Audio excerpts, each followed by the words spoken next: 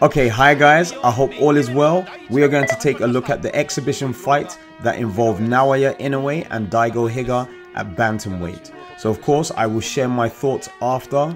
Right, I'm not going to waste any more time, so let's get straight into it.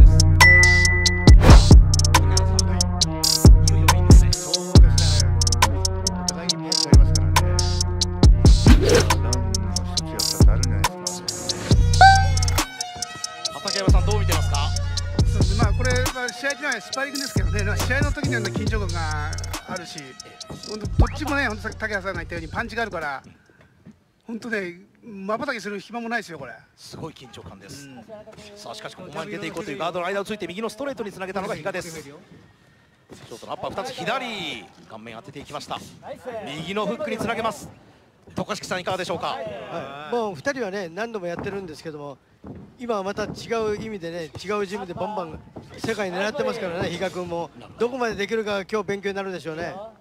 まあ、数年前数回スパーリングしましたがその時は歯が立たなかった。そんなコメントもあった比嘉大吾でした。何回もやってないですよ高橋さん。何回かです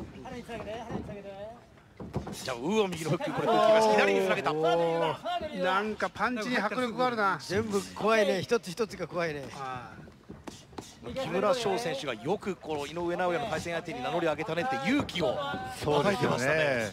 大体の選手が断ったんですよね。そうですか。うわボディに集めて一つだけで攻撃変える。うわやばいよちょちょっとかくってきたないや井上チャンピオンよく見てるな。うわ強烈ボディ。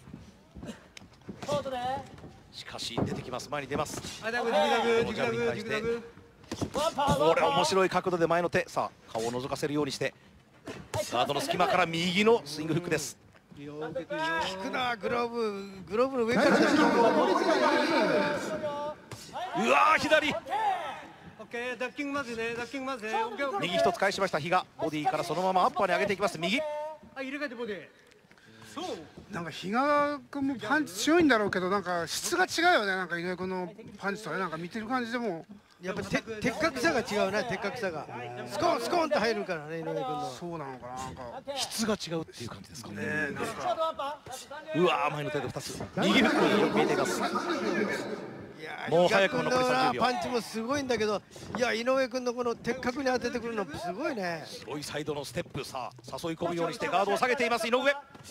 左。右を一つ返していく比嘉ロープを背にしていますがさあ狙っているようにしか見えない。左ボディ。返していきます比嘉もおおいいねお互いいいよ。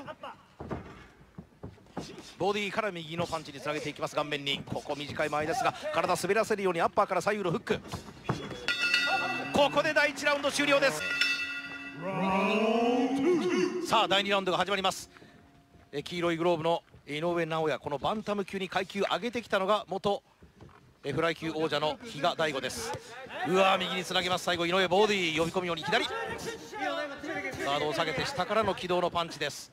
ここはクリンチ一旦嫌います。比嘉君もね15連続の KO ね KO 連続やってるからね。浜田剛さんに並ぶ日本の記録です、ね、ボディボディ2つ今度は顔面につなげて左左2つです。頭から入っていきますちょっとつ猛進その戦法でいきました。比嘉大吾は話しました。もう対策しても仕方がない。入ったよアッパー入ったよ。対策は通用しないとも話していた比嘉前に出るしかないと話しています。左お互いにジャブを刺しました。ツースリー左。左が当たります。左のボディフック比嘉が返す。あ倍になって帰ってきます。しかしまあしっかりねブロックはしてるけどね左空を切りました。近い前で見えています。お互いのプライドをかけたねこの戦い、すごいね。ピリピリするね。左でした。うわここあえて顔を前に突き出すようにします。左ボディフックこれはしっかりエルボでガードしているか突き放した。パワーの差もあるのか。うわ左強烈レバブロ。うわ顔面ボディとフックを打ち分けてきます。まあ、比嘉君はもらいながらでも下がらないからいいですよね。あ今度アッパーでしたね日が出したもんだね。打たれながらも前出るもんね。そうですね。これ下がったら逆にやられちゃいますからね。逆にっていうか下がったらダメだよ、うん。逆にっていうかもう一気にやられちゃうから。そう。日がのボクシングは前に出るボクシングだからね。アッパー。第2ラウンド残り時間1分。残り1分を切下がらないりましたからまだ耐えられてんだねこれね。いや比嘉君もこれまだまだ世界取るよねこれ。血が入ってきますアッパー。しかしこの左ボディ右効いた。顔面がグラッと揺れました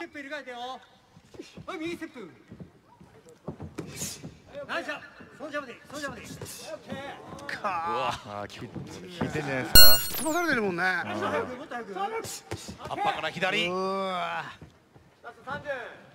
さまざまな軌道が右。比嘉下がりますバックステップ呼び込んでワンツー入れ替わりました右ノーモーションから来た今度は前の手です2つ3つ4ついやしかしここはもう下がらない。下がると飲み込まれる出るしかない。比嘉うわーしかし下がりながらも的確に入れてくる井上。暇ないねこれすごいアッパー。残り10秒切ります。右につなげた。ここ最後は一つガードしていましたが。第2ラウンド終了でもヘッドギアを外しています黄色いグローブがモンスター。井上尚弥まさにモンスター見せています。しかしそれに愚直なまでに前に出てくるのが比嘉大吾です。ワンツースリーアッパー。しっかりガードを重ねながら体を振って左。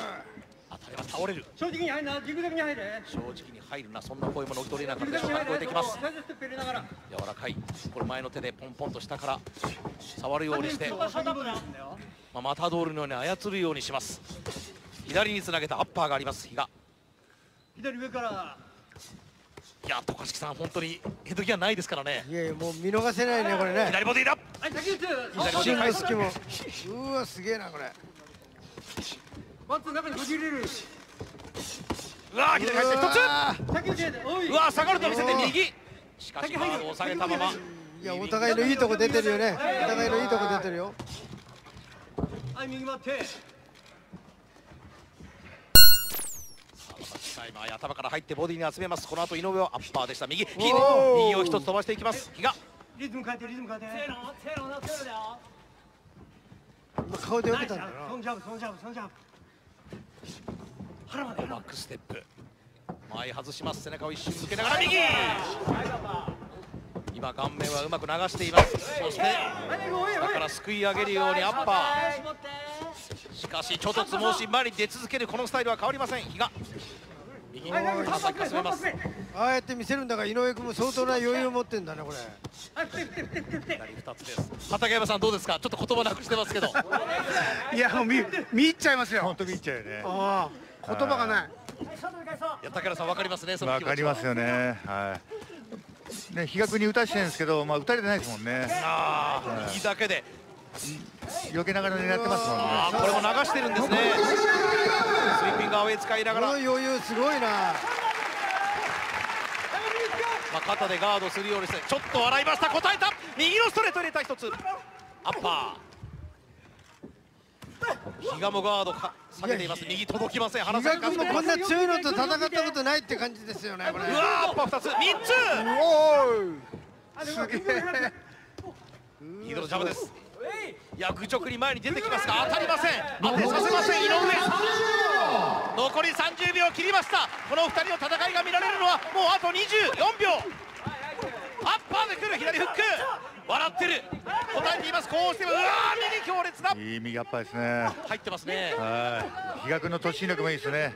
比嘉は切れますせん諦めないよね。折れません。さあ残り10秒です。ワンツー入れました。世界が狙うやつは違うな右ストレート入れましたこの2人の戦いはこれが最初で最後なのかそれともまだ先があるのかここで終了 Okay, guys, so what can I say? That was by no means an exhibition. It was more a technical sparring spectacle that quickly turned into blood and guts gladiatorial. You could even see in the last round that they even took off the headgear. I don't know if that was Higa deciding that because he was getting tagged and then obviously pierced, or anyway because he wanted to demonstrate more brilliance. But in any case, it didn't fare well for Higa. I have to say fair play to Higa because it's not easy to get in the ring with Inoue, but that was the easiest way for him to pick up an L and not actually take one on his resume from Naoya Inoue. The worrying thing about Inoue is that he operates at an amateur pace but with the powerful arsenal of a pro, so pure explosive entertainment. Inoue almost looks like he's baiting opponents after he loads up because he has the control to counter them after they open up when they think he has lost control. So it's a dangerous affair when you try to work in between some of his power punching movements. Also, Inoue does not let up with the power punching and the precision to add into that mix. For his opponents, it's almost like playing Call of Duty against a guy who has UAV on tap, even the wallhack in this case. He also has the expensive upgrades on all of his weaponry, so a maxed out loadout. And if that was not enough, he has a constant supply of artillery strikes, so pure bombardment. So Inoue is the hacker of boxing right now, playing on God mode. Inoue, turn off the mods, you hacking monster. Anyway, guys, I'm signing out. Please remember to hit the like button if you've enjoyed this one and leave a comment if you want to provide any feedback whatsoever. So until my next one, peace out.